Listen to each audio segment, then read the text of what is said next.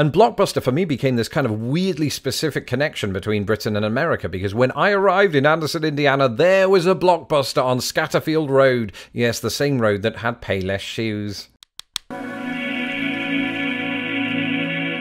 Hello, I'm Laurence, and I'm on a quest to uncover all of the memos that Britain and America lost in the pond, and one of those pertains to companies. Now, I believe I've mentioned this before, but I moved here at the height of the 2008 recession, so it was a period of immense change, not just for me personally, but for the world economy. And suddenly we're kind of 12 years on from that, and I've been doing quite a bit of reflecting around this in the last few days, particularly because I was walking by the Hancock Center here in Chicago just the other day, and I looked across the road to my left, and I saw this building that said Toys R Us Adventure, this new attraction for kids. And it got me thinking, what about all of those American businesses that were sort of a big part of my early days in America that have since closed? It's kind of weird because I didn't have the nostalgic connection to a lot of these companies that uh, you, as perhaps an American, might have had. Though I did experience that of British companies because after I moved here, I started seeing the likes of BHS, Mothercare, you know, all closed down. And that impacted me on a very deep level. Not so much Mothercare, I had no stake in that. But now that I take the time to reflect on those early days of living in the United States,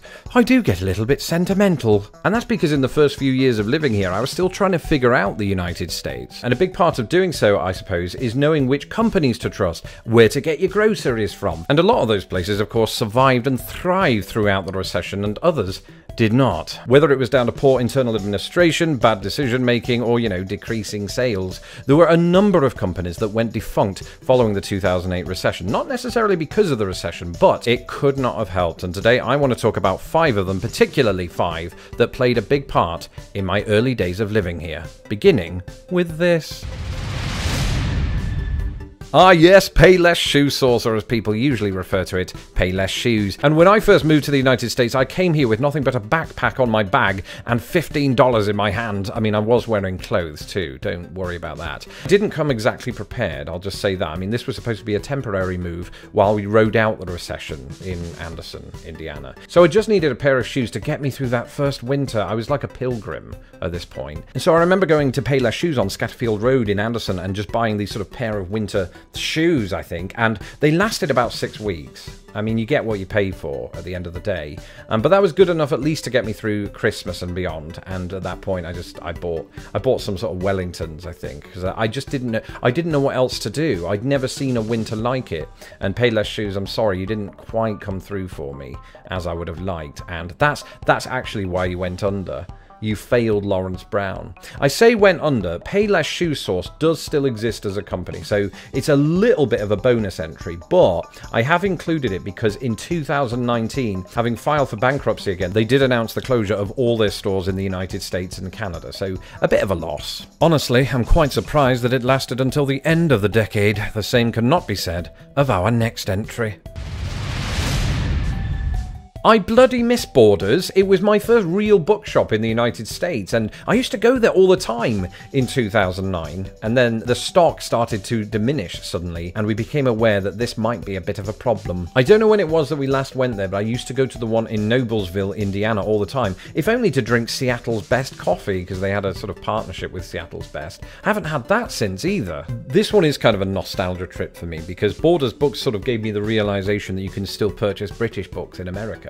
You know, I was still going through that phase when I needed everything from back home. I've moved on from that phase now, although I do still go into Barnes & Noble for Doctor Who books. But I think the saddest thing about the Borders closure is that you occasionally see the faded logo on the side of buildings. It's a memory of times gone by. It filed for bankruptcy in 2011 and all of its stores were closed later that year. And just like a game of dominoes, two years later, the next company followed suit.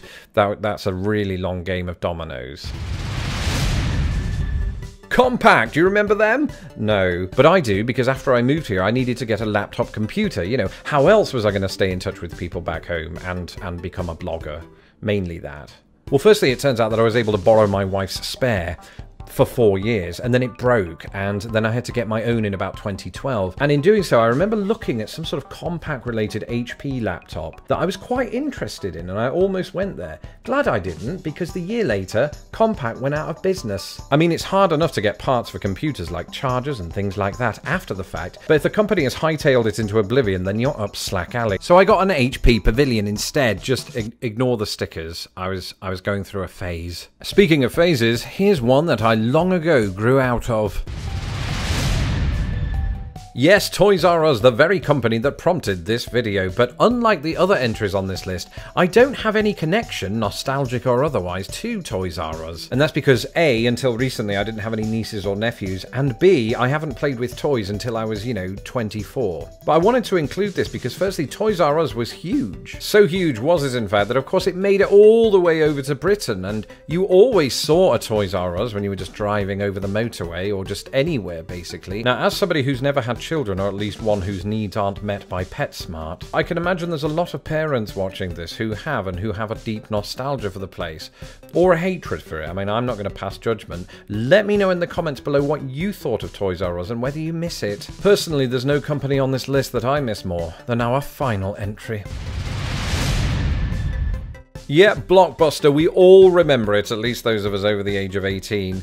And it has a deep connection to my move to the United States, because in the months just before moving to the United States, I lived in London with the wife, and, you know, just around the corner from where we lived was a Blockbuster, and it was one of these things we'd do every weekend, just go and get a DVD. And Blockbuster for me became this kind of weirdly specific connection between Britain and America, because when I arrived in Anderson, Indiana, there was a Blockbuster on Scatterfield Road. Yes, the same road that had Payless shoes. And that tradition of renting DVDs every single weekend continued until until we discovered Netflix. Netflix is basically what killed Blockbuster.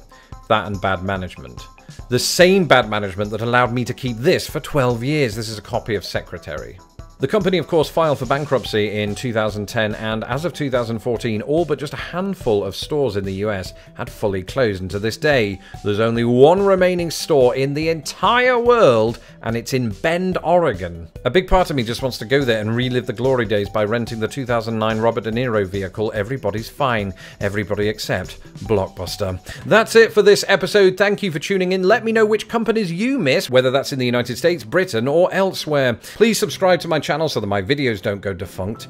And if you would like to keep up with me on a day-to-day -day basis, why not follow me on Twitter by going to at Lost in the Pond US. A big shout out to all my patrons who make these videos possible. Without you, I couldn't do any of it, from the lighting equipment to the technology to everything else and in between. If you would like to become a patron, please do so today at patreon.com slash lost in the pond. That's it, have a nice day, and I'll see you soon.